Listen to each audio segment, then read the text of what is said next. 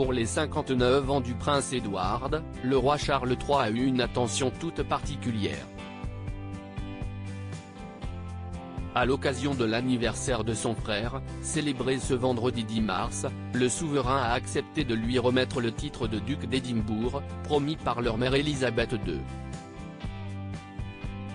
Les nouveaux ducs et duchesses d'Édimbourg sont fiers de poursuivre l'héritage du prince Philippe, pour développer les opportunités pour les jeunes issus de tout milieu d'atteindre leur plein potentiel, a indiqué Buckingham Palace dans un communiqué.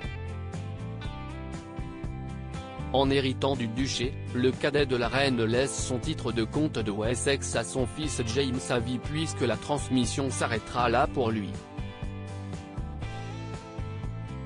Comme l'explique le site britannique Royal Central, l'adolescent de 15 ans ne deviendra jamais duc d'Édimbourg.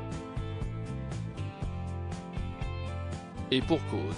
Le père des princes William et Harry aurait accepté de remettre le titre à son frère à la condition qu'il revienne à la couronne à sa mort.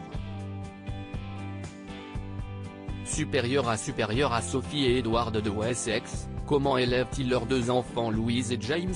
Charles III souhaite alléger la monarchie britannique une mesure prise pour alléger la monarchie. Charles III réserve ainsi à Édimbourg le même sort que les duchés de Kent et de Gloucester, dans une génération à peine, aucun de ces duchés ne sera détenu par un membre éminent de la famille royale. Leurs détenteurs n'occuperont pas de fonctions importantes au sein de la famille royale à l'instar du nouveau comte de Wessex qui a peu de chances de devenir un membre actif, apprend-on. Par conséquent, le roi a peut-être jugé inapproprié qu'un duché aussi prestigieux soit détaché de la famille immédiate dans les décennies à venir, analysent nos confrères britanniques.